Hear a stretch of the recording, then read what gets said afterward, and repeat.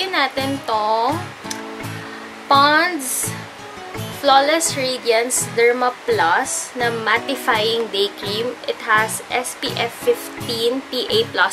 So, ayun. Natagal na akong curious kasi uh, naghahanap talaga, I'm, matagal na ako naghahanap ng magandang day cream for oily skin dahil sobrang oily ko. As in, parang kakaalis ko pa lang ng bahay, kailangan ko na agad mag-blot ng oil. Hopefully, this will stay true to its name na mattifying day cream nga siya. And sana ma-lessen yung oil. So, let's try it today. I'm really, really, really excited to try this out. And kasi matagal ko na talaga siyang gustong bilhin. As in, kaya lang, medyo namamahalan kasi ako sa kanya until one day, napadpad ako sa Watsons and then, ayun, sobrang sakto kasi 50% off sila. So, I really grabbed the opportunity to buy this one and to try this one. So, let's start. So, when you open it,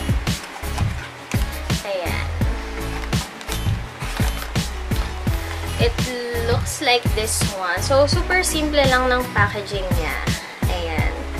So, it says here, Pond's formulated by the Pond's Institute. Flawless Radiance Derma Plus Mattifying Day Cream. So, yan.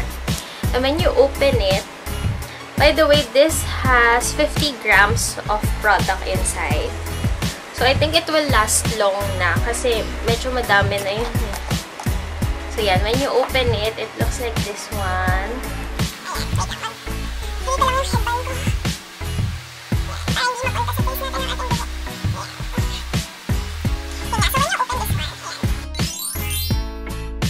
Product. Yan yung amount ng product. And, when you smell it, para siyang amoy loose powder. Ganun yung amoy niya amoy loose powder and mabango siya. Very light lang yung scent niya.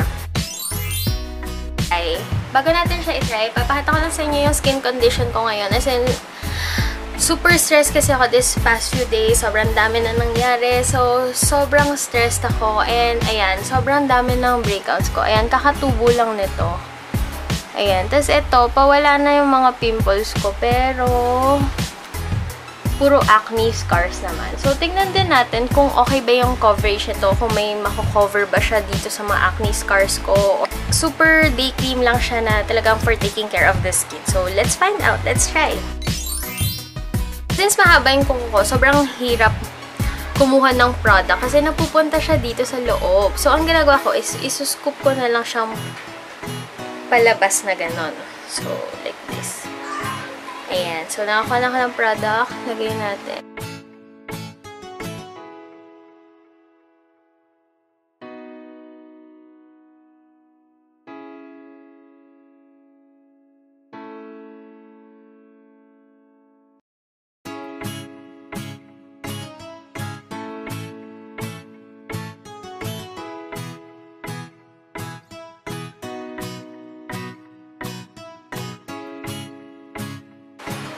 As of now, hindi pa nakikita nagmamatify siya.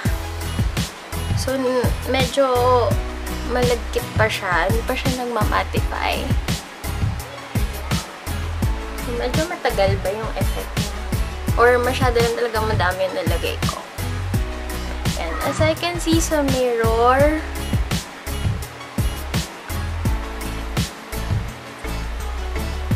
ayan, medyo nas yan, na-spread ko na siya evenly.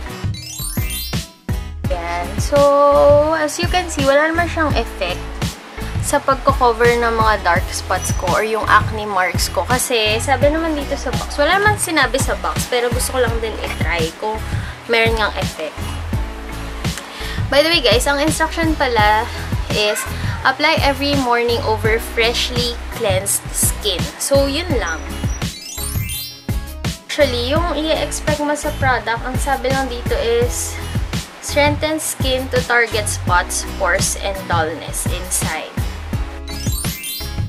After nito, yan, nalagay ko na siya.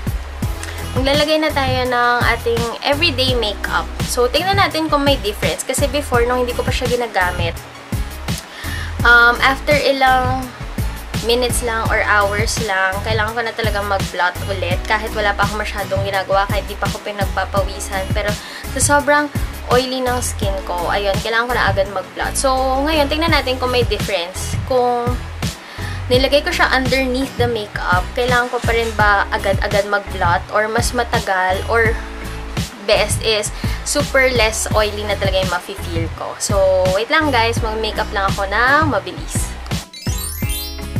Anyway guys, before applying your makeup, make sure na tuyo na siya talaga. So, ayan, as in, tuyong-tuyong-tuyo na, wala lang stickiness na feeling. And, in fairness, super mattified nga yung feeling. As in, as in, matte talaga, as in dry. Ayan, so, sana mag-last siya all day. So, tingnan natin after applying makeup. And guys, ang next kong gagamitin is the Bello Tinted Sunscreen.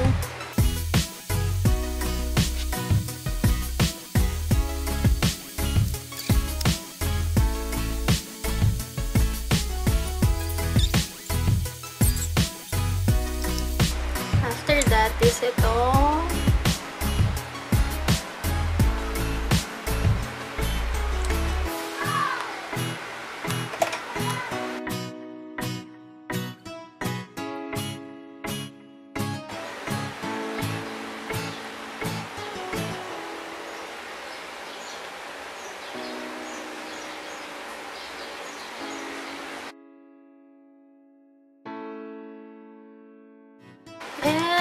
the last one that I'll be using is this one. Ayan na, sobrang ubos na siya, ba? Kasi sobrang ganda talaga nito. As in, ito yung favorite face powder ko.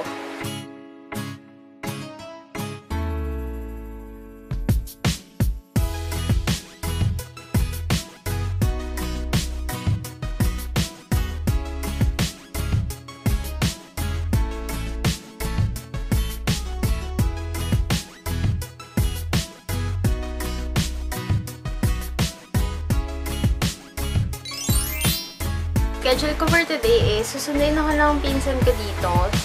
And then, samahan ko silang kumain or mag-lunch outside. And then, pupunta kami sa hospital para bantayan yung tito ko. So, let's see kung anong magiging effect nitong mattifying cream sa mukha ko. Time check today. Ah, right now it's 12.32 in the afternoon. And, i-update ko kayo maya-maya. And by the way, final look for today. Ayan.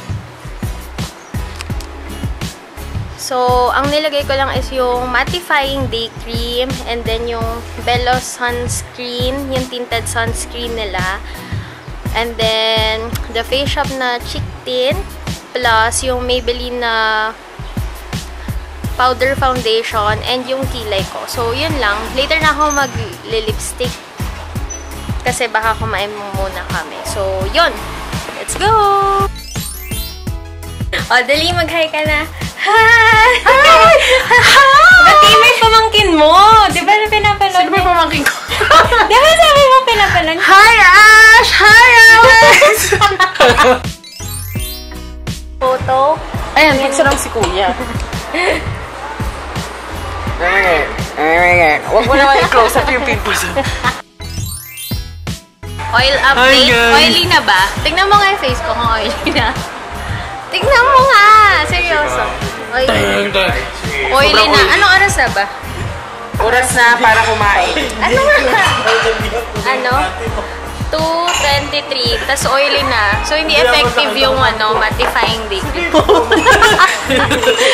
Eat a scallop.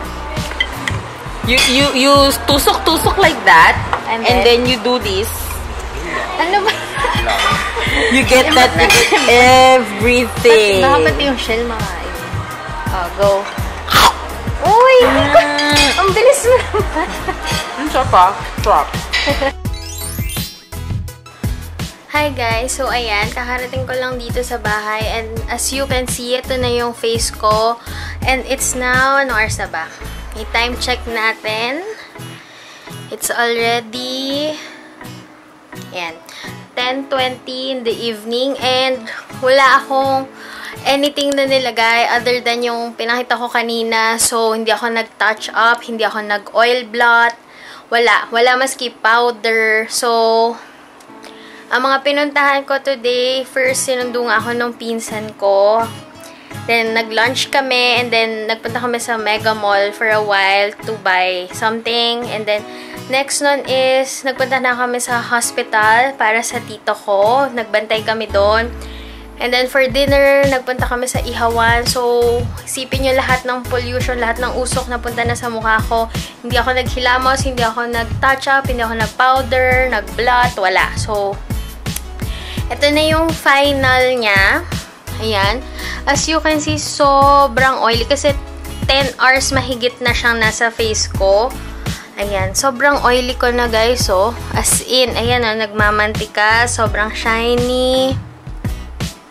Ayan. So, kanina naman, nung habang kumakain kami, napansin ko sa camera na medyo oily na siya. Pero kung tutuusin, 2 hours pa lang akong nasa labas ng bahay noon.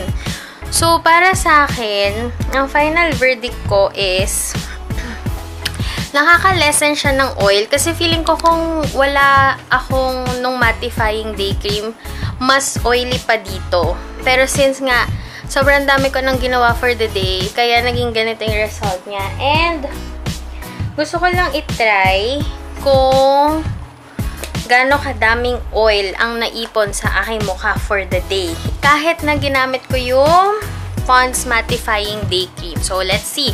So, I'm using the ito yung Gatsby Oil Clear Sheet. Dati color black to eh, pero ngayon naging blue na siya. So, parang clean and clear na. Ayan. So, ayan. Bu, kitang-kita ang pores. See? Siguro sa isang araw, guys, mga nakakatatlong ganito ako. Kasi, as in, pwede na akong magkaroon ng oil company dahil sa mukha ko. Ayan, guys, so, tingnan nyo. Onting tap lang, sobrang dami na na-absorb na oil. Feeling ko, guys, ha, effective siya in a way na nalelesen yung oil sa face ko. Pero, in terms of hindi na talaga mag-oil and sobrang wala na talagang oil or shine sa face, I can't say na effective siya. Although, hindi naman kasi yung kiniklaim niya.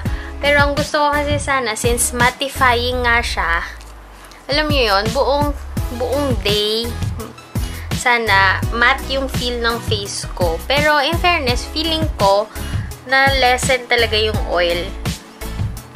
Kasi nag-ihaw-ihaw pa nga kami, ba? So, syempre nag nagsilabasan yung mga pores ko doon, nagsilakihan yung mga oil ko, lumabas. So, ayan. And one tip pala guys, um, sa isang napanood ko na video, sabi nila na um, to lessen the oil daw, dapat hindi ka raw oil blot ng oil blot. ba diba, ironic? Pero kasi, sabi nila, if you keep on blotting your face, natatanggal mo daw pati yung good oil. So, and pag natanggal mo yung good oil, tanggal ka ng tanggal ng oil. So, ang tendency is, produce ng produce yung face mo ng bagong oil, which makes you more oily. So guys, yun, natuto na ako. So kung dati mga 5 to 6 na uh, oil control film yung nagagamit ko, ade ngayon tatlo na lang. Pero in fairness, yung pag every time na tumitingin ako sa mirror, alam ko oily ako. Ang oily, tas pero sa isip-isip ko, hindi ko naman kailangan mag-retouch kasi medyo glowy pa rin yung aura ng face ko. Unlike before na napapansin ko, ang oily ko. Tapos, sabihin ko sa sarili ko, ang haggard ko na. So, kailangan ko mag-touch up agad. Kasi kanina, napansin ko na medyo maputi yung face ko and medyo glowy siya. So, iba yung glow niya compared sa wala akong nilagay na mattifying day cream. So, yun. Overall, I think it is it is worth a try. Although, meron akong friend na tinry yun, pero as in, sobrang naging itchy yung skin niya. So, do a skin test first before buying it. Kasi baka masayang lang yung pera nyo. Again, the top cost around 500 pesos. And I got mine for 50% off. Kaya lang, tapos na yung promo. So, if you're planning to buy, pag-isipan nyo muna, 500 is still 500. It's still a huge amount, especially for me. Pero yun, it's still worth a try. I will keep on using it hopefully, parang wala naman bad effect sa akin. Wait. Ayan. Hopefully, wala naman siyang bad effect sa akin. Hindi naman ako nagka-breakout. And let's see na lang din in the next few days. And i-update ko kayo kung kamusta yung skin ko after a week of using it maybe. Kung may difference ba, kung pumuti ba, kung nawala ba yung dark spots ko or yung pores ko is lumait ba. So, let's just find out. So, I hope guys you, li you like this video. Kindly give it a thumbs up if you find it informative or comment down below for any suggestions lalo na sa mga oily skin like mine and yan yung mga nagkaka-breakouts and madaming spots kung paano malilesen. Give me tips, give me suggestions, and comment down your holy grails. Ba yan? Comment down your Holy Grail products. And please, don't forget to subscribe. Again, goodbye! By the way guys, nakalimutan ko ipakita sa inyo yung oil control film na ginamit ko. See? Ayan, nakakatatlong ganito ako sa isang araw na punong-puno. Pero, ngayon, um, after a full day without using this one, ayan, meron pang spaces usually talagang asin puno, asin transparent lahat and mild oil lahat. Pero ngayon, tinry ko ng i-blot ng i-blot ng i-blot, wala na, wala nang makuha ulit. So, ayan.